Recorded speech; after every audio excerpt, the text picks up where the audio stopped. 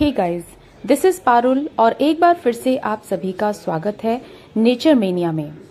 दोस्तों आज मैं आपको जीजी प्लांट की रिपोर्टिंग आपको कैसे करनी है कब करनी है और क्यों करनी है तीनों क्वेश्चंस को, को इस वाली वीडियो में कवर करने वाली हूँ।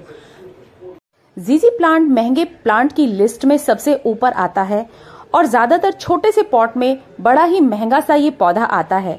लेकिन क्या आप इसे मल्टीप्लाई कर सकते हैं?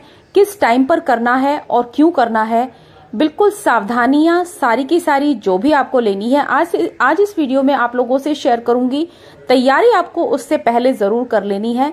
जितने पॉट्स भी हो, उतने आप अपने तैयार करके रखिएगा। मिट्टी तैयार करनी है तो ये सब चीज़ें बहुत ज़्यादा ज़रूरी है। किसी भी प्लांट को रिपोर्ट करने से पहले आपको उसके लिए उसकी मिट्टी पॉट्स वगैरह सब चीज़ें तैयार करके रखनी है। हो गई प्राइमरी चीज़ें। अब सेकेंडरी चीज़ें क्या होंगी, ये सारा वीडियो में आगे शेयर करती जाऊँगी। अब मैं सबसे पहले आप लोगों को बता देती हूँ कि मैंने इसकी मिट्टी किस तरह की रखी है। तो आप देख लीजिए, मैंने इसमें 40 परसेंट गार्डन सॉइल ली है 20 परसेंट मैंने इसमें रेत लिया है और 40 परसेंट मैंने इसमें अपनी घर की बनी हुई जो मेरी किचन कंपोस्ट है और लीफ कंपोस्ट का मिक्सचर लिया है। उसी में मैंने दो चम्मच हल्दी पाउडर डाल दिया था। अगर आप चाहें तो दालचीनी पाउडर भी डाल सकते हैं, या फिर अगर आपने एलोवेरा का अलग से एक अपना वो बना के रखा हुआ है, कोई फर्टिलाइज़र तो आप वो भी ऐड कर सकते हैं। इसका जो एलोवेरा का जो फर्टिलाइज़र होता है, वो ज़रूर से आपको बना के रखना चाहिए। जब भी आप इस तरह की मिट्टी तैयार करें तो उसमें वो फंजीसाइड और इंसेक्टिसाइड का काम करता है। तो ये देखिए, मैंने छोटी सी लीफ जो है लगाई थी, दस दिन के अंदर अंदर ही इसमें रूट बॉल बन गई थी। इसलिए मैंने आपको ये दिखाई कि एक छोटी सी लीफ से भी आप इसको प्रोपोगेट कर सकते हैं। एक बार आपके घर में ये प्लांट आ गया तो ये कभी भी मरता नहीं है। तो गाइस कुछ लोगों से मैंने सुना कि उन्होंने इतना महँगा पौधा लिया और उनका ये पौधा बिल्कुल खराब हो गया। तो जब भी आपको लगे कि पौधा खराब होने की स्टेज में आ रहा है तो आपको उसकी कटिंग्स निकाल लेनी है। और आपको डायरेक्ट मिट्टी में ना लगा के उनको पानी में प्रोपोगेट कर देना है। जब उनमें से रूट्स निकलनी स्टार्ट हो जाए, एक डेढ़ महीना कम से कम रूट्स निकलने में लग जाता है तो उस टाइम पर आप उनको मिट्टी में शिफ्ट कर सकते हैं। मिट्टी में शिफ्ट करने के लिए भी आपको एक प्रॉपर मौसम का पता होना बहुत ज़्यादा ज़रूरी है। जो जो मौसम हम लोगों के लिए बिल्कुल सुहाना हो, उसी मौसम में आपको इन्हें रिपोर्ट करना होता है। अब देखिए, मौसम चेंज होता जा रहा है। सितंबर का महीना शुरू होने वाला है और मेरा पॉट टूटने ही वाला था। तो मैंने अपने जो जीजी प्लांट है, उसे रिपोर्ट करना बहुत ज़्यादा ज़रूरी समझा। हालाँकि मैं इसे अभी एक महीने बाद करती, अक्टूबर के मंथ में करने वाली थी, लेकिन क्योंकि मुझे लगा कि मेरा पॉट जल्दी ही टूट जाएगा तो पॉट को भी बचाना था। तो इसलिए मैंने इसको जो है अभी रिपोर्ट किया है और बिल्कुल भी धूप में मैं मैं नहीं बैठी हूँ। खुले में है लेकिन धूप में नहीं है। धूप में बिल्कुल भी आपको रिपोर्टिंग नहीं करनी है क्योंकि गर्मी इतनी ज़्यादा गर्मी में आपको आ, की रिपोर्टिंग भी जो है फेल हो जाती है। तो मैंने जो है मिट्टी इसकी आपको बता दी है किस तरह की रखनी है। अगर आपके पास कोकोपीट है तो आप 50 परसेंट कोकोपीट और 50 परसेंट आप सिर्फ़ अपनी गार्डन सॉइल ले सकते हैं। इसके अलावा फिर आपको किसी भी चीज़ की ज़रूरत नहीं पड़ती क्योंकि कोकोपीट जीजी प्लांट को पर्सनली बहुत ज़्यादा पसंद होती है। तो मेरे पास कोकोपीट नहीं थी और देखिए, ये जो पॉट निकला है, इसमें से भी कोकोपीट बिल्कुल भी निकल कर नहीं आई है। ये लाल मिट्टी के अंदर लगा हुआ है और जो कि बहुत अच्छी मानी जाती है पौधों के लिए। ऐसा नहीं होता कि लाल मिट्टी अच्छी नहीं होती। हमारे इधर इधर ये जो लाल मिट्टी है, ये जनरली पाई नहीं जाती, इसलिए हमें लगता है कि ये अच्छी नहीं होती है, लेकिन हम, मैं इसे बिल्कुल भी इसकी जड़ों को वॉश करने वाली नहीं हूँ। आप देख सकते हैं कि एक पौधे में से कम से कम पाँच रूट बॉल निकल रही हैं तो मैं इन्हें सबको ही अलग करूँगी। क्योंकि अगर आप इन्हें अलग नहीं करेंगे तो पौधा वैसे ही मर जाएगा। तो मुझे बनाने हैं पाँच प्लांट और मैं उनमें से कुछ प्लांट्स जो हैं गिफ्ट भी करने वाली हूँ।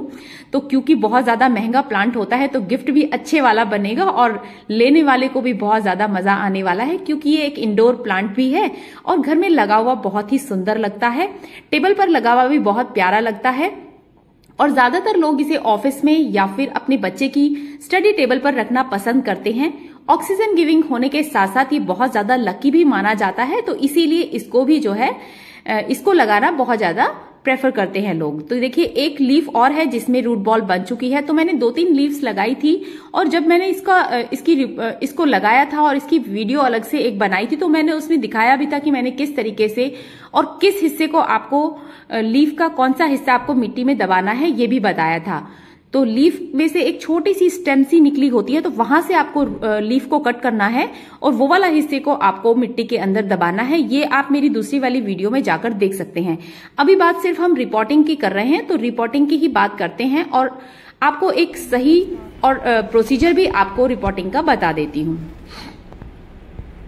ये देखिए, ये रूट रूट बॉल है इसकी और इसमें ये एक ही प्लांट है, दो प्लांट नहीं है गाइस अगर ये दो होते तो मैं इनको सेपरेट कर देती, लेकिन ये एक ही रूट बॉल है। तो इसको मैंने अलग नहीं किया है और पौधे को मैंने हवा में लटकाया हुआ है। रूट को बिल्कुल भी ज़मीन से टच नहीं करना है मतलब कि गमले से टच नहीं करना है। एक छोटी सी वीडियो के माध्यम से मैंने आपको रिपोर्टिंग का सही मेथड बताया भी हुआ है। अगर आपने वो वीडियो नहीं देखी है तो आप इसमें ही देख लीजिए। मैंने इसको हवा में लटकाया हुआ है और मैं इसमें ऊपर से मिट्टी डालती जा रही हूँ। और यही मिट्टी को रूट्स जहाँ पर भी लटकी हुई होंगी, वहीं से ही बंध जाएँगी मिट्टी के साथ। तो बस ये तरीका होता है कि रूट्स ज़्यादा से ज़्यादा डिस्टर्ब भी नहीं होंगी और आपका जो पौधा है वो बिल्कुल बढ़िया बनकर तैयार हो जाएगा। और मेरे एक पौधे से जो है, जो कि पाँच छह इंच के छोटे से गमले में लगा हुआ था उससे कम से कम पाँच प्लांट बनकर तैयार हुए हैं जिन्हें मैंने अलग अलग कलरफुल पॉट्स में लगाया है क्योंकि इन्हें सिंपल पॉट्स में लगाने का कोई फ़ायदा नहीं होता। क्योंकि ये शो वाले प्लांट्स होते हैं और शो वाले प्लांट्स हमेशा शो वाले ही गमलों में अच्छे लगते हैं। ये देखिए, मेरे पास कुछ कलरफुल पॉट्स थे जो कि बहुत ही ज़्यादा ब्यूटीफुल भी हैं। अगर आप इन्हें इंडोर लगाना चाहें तो कभी भी आप इन्हें इंडोर लगा सकते हैं। अब यहाँ पर देखिए, बहुत ज़्यादा धूप, यहाँ पर धूप भी नहीं आती है। बिल्कुल ऐसा एरिया है लॉबी का, जिसमें धूप नहीं आती है, लेकिन रोशनी पूरी आती है। तो मैंने फ़िलहाल इनको यहीं पर प्लेस कर दिया है कुछ दिनों के लिए। तो जैसे ही सर्दियाँ होंगी, मैं इन्हें बाहर भी निकाल सकती हूँ, लेकिन अभी मैं फ़िलहाल इसको एक महीना, सितंबर सितंबर के महीने में मैं इनको इसी जगह पर रखूँगी। ना तो मैं इन्हें इंडोर लेकर जाऊँगी और ना ही मैं इन्हें आउटडोर रखने वाली हूँ।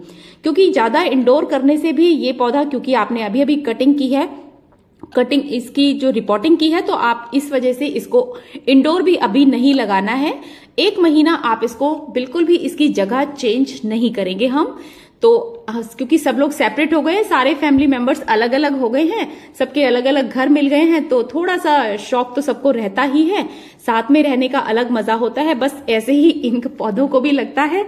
तो इसलिए मैं इनको अभी साथ में ही, लेकिन अलग अलग पॉट्स में है, लेकिन साथ में ही लाइन से यहीं पर लगाकर रखूँगी, जिससे कि एक दूसरे की संगति में भी रहेंगे और इन्हें बहुत ज़्यादा धूप का सामना भी नहीं करना पड़ेगा और इंडोर में हवा की कमी को नहीं झेलना पड़ेगा। देखिए, बहुत ज़्यादा सुंदर लग रहे हैं। एक जो पॉट है, वो मैंने दे दिया है और ये बाद की वीडियो है और ये वाले जो एक मैंने बड़े में लगाया है, जिससे कि इसमें और बहुत सारे जो है प्लांट्स फिर से डेवलप हो जाए। तो एक तो मैंने लगा दिया है दस इंच के पॉट में और बाकी पाँच, छह इंच के पॉट है। एक आठ इंच के पॉट में लगाया है। आप इसे छोटे से छोटे पॉट में भी लगा सकते हैं, क्योंकि इसकी रूट बॉल्स काफ़ी बड़ी थी एक एक प्लांट की ही। तो मैंने इन्हें पाँच, छह पाँच, छह इंच के पॉट से छोटे पॉट में नहीं लगाया।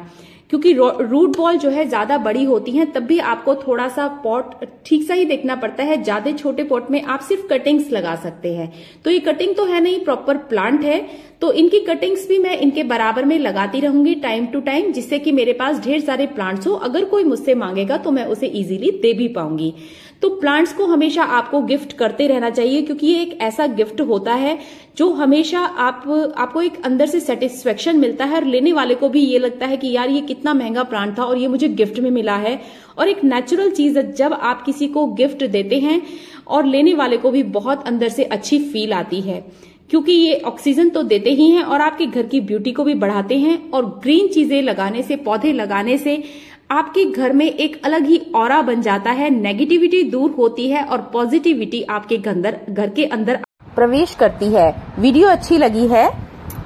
तो लाइक शेयर ज़रूर कीजिए और चैनल को सब्सक्राइब ज़रूर कर लें अगर आप चैनल पर नए हैं। आपके लिए मैं इस तरह की informative video time to time लाती रहूँगी।